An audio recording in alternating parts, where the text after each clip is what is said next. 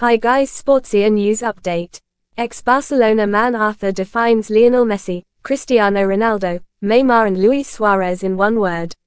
Brazilian midfielder Arthur Melo, who has played for Barcelona, recently described Lionel Messi, Cristiano Ronaldo, Neymar and Luis Suarez in one word.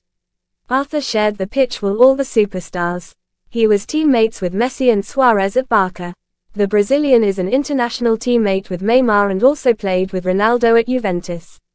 Speaking about Cristiano Ronaldo, Arthur said, via Mundo Deportivo, goalscorer. He termed Lionel Messi as alien.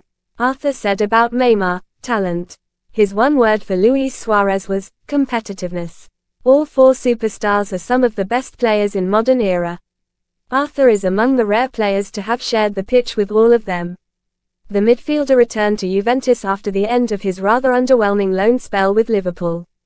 He spent most of the campaign on the sidelines, making only one appearance.